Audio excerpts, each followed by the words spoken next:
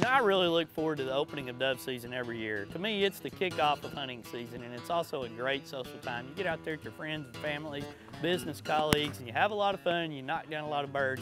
And when you knock down a lot of birds, a lot of time you've got more than you can eat in one setting, so you gotta freeze them. That's where the GameSaver Bronze really comes into play for me.